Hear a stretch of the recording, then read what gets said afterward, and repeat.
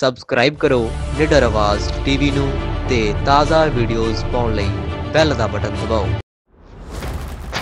ਪਿੰਡ ਚੇਲਾ ਦੇ ਇੱਕ ਘਰ ਵਿੱਚੋਂ ਭੇਦ ਭਰੇ ਹਾਲਾਤਾਂ 'ਚ ਨੌਜਵਾਨ ਦੀ ਮਿਲੀ ਲਾਸ਼ ਇਲਾਕੇ 'ਚ ਦਹਿਸ਼ਤ ਦਾ ਮਾਹੌਲ।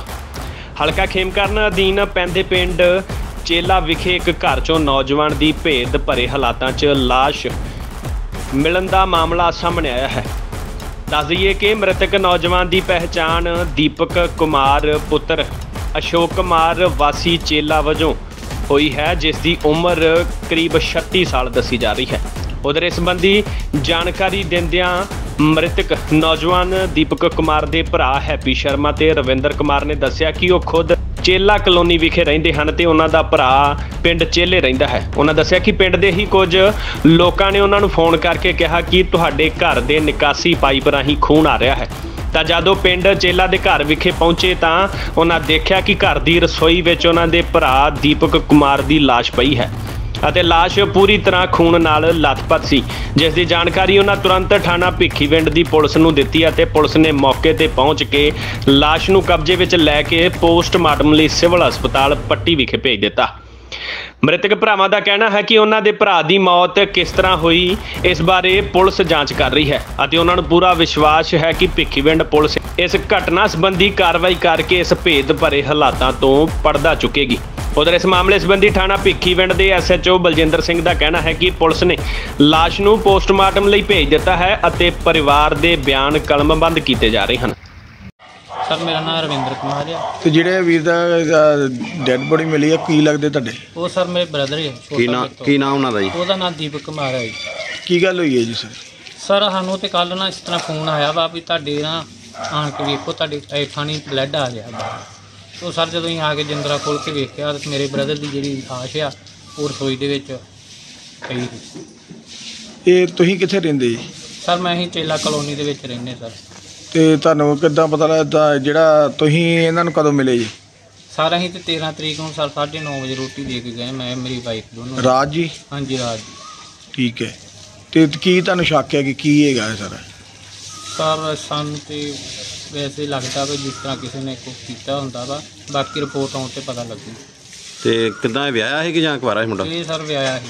ਤੇ ਇਹਦੇ ਪਰਿਵਾਰ ਜਿਹੜਾ ਉਹ?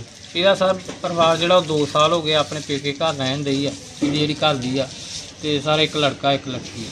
ਤੇ ਇੱਥੇ ਇਕੱਲਾ ਰਹਿੰਦਾ ਸੀ ਜਾਂ ਕਿੱਦਾਂ? ਨਹੀਂ ਸਰ ਇੱਥੇ ਮੇਰਾ ਭਰਾ ਤੇ ਮੇਰਾ ਡੈਡੀ ਜਿਹੜੇ ਦੋਵੇਂ ਰਹਿੰਦੇ ਆ।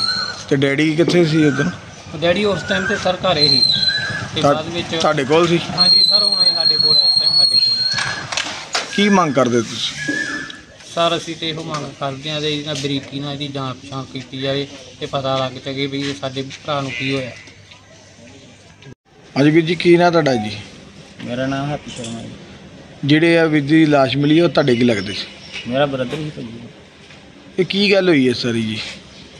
ਇਹ ਸਰ ਪਤਾ ਨਹੀਂ ਹੈ ਅਸੀਂ ਤੇ ਰਹਿੰਦੇ ਹਾਂ ਜੀ ਭਾਜੀ ਚੇਲਾ ਕਲੋਨੀ ਦੇ ਵਿੱਚ। ਇਹ ਵੱਖਰਾ ਰਹਿੰਦਾ? ਹਾਂਜੀ ਇਹ ਚੇਲੇ ਪਿੰਡ ਰਹਿੰਦੇ ਸੀ। ਅੱਛਾ ਜੀ। ਹਾਂਜੀ। ਉਹ ਤੇ ਸਾਨੂੰ ਇਥੋਂ ਕਿਸੇ ਨੇ ਫੋਨ ਕੀਤਾ ਕਿ ਤੁਹਾਡੇ ਪੈਪ ਰਾਹੀਂ ਬਲੱਡ ਆ ਰਿਹਾ ਕਿ ਆਣ ਕੇ ਵੇਖੋ ਕੀ ਹੋ ਰਿਹਾ ਅੰਦਰ, ਤੁਹਾਡੇ ਕੋਈ ਕੋਈ ਹੋ ਰਿਹਾ ਅੰਦਰ, ਹੋਇਆ ਪਿਆ ਹੈ। ਤੇ ਅਸੀਂ ਆਣ ਕੇ ਜਿਹੜੀ ਅੰਦਰ ਖੋਲ ਕੇ ਦੇਖਿਆ ਅੰਦਰ, ਤੇ ਸਾਡੇ ਬ੍ਰਦਰ ਦੀ ਜਿਹੜੀ ਲਾਸ਼ ਆ, ਉਹ ਰਸੋਈ ਦੇ ਵਿੱਚ ਪਈ ਸੀ ਤੇ ਪੂਰੀ ਲੱਤਪੱਤ ਹੋਈ ਪਈ ਸੀ ਇਹ ਹੁਣ ਵੇਖੋ ਜੀ, ਪੁਲਿਸ ਨੇ ਕਾਰਵਾਈ ਕੀਤੀ ਹੈ ਪੋਸਟਮਾਰਟਮ ਲਈ ਲਾਸ਼ ਘਲਾਈ ਹੋਈ ਹੈ ਤੇ ਬਾਕੀ ਰਿਪੋਰਟ ਆਉਣ ਤੇ ਤੁਹਾਨੂੰ ਕਿਸੇ ਤੇ ਸ਼ੱਕ ਕੋਈ? ਸ਼ੱਕ ਇਸ ਤਰ੍ਹਾਂ ਹੁਣ ਕਹਿ ਨਹੀਂ ਸਕਦੇ ਕੋਈ ਸਾਰੇ। ਕਿਉਂਕਿ ਇਹਦਾ ਕੋਈ ਲਾਗਤਬਾਜੀ ਕੋਈ ਇਹੋ ਜਿਹਾ ਸਾਡੇ ਨਾਲ ਕੋਈ ਹੈਗੀ ਨਹੀਂ। ਕੀ ਮੰਗ ਕਰਦੇ ਤੁਸੀਂ? ਅਸੀਂ ਤੇ ਇਹੋ ਕਹਿੰਦੇ ਕਿ ਜੋ ਹੋਇਆ ਇਹਦਾ ਇਨਸਾਫ ਹੋਣਾ ਚਾਹੀਦਾ। ਸਰ ਇੱਕ ਪਿੰਡ ਚੇਲੇ ਦੇ ਇੱਕ ਘਰ ਦੇ ਵਿੱਚੋਂ ਇੱਕ ਨੌਜਵਾਨ ਦੀ ਲਾਸ਼ ਬਰਾਮਦ ਹੋਈ। ਸਰ ਕੀ ਮਾਮਲਾ ਸਾਰਾ?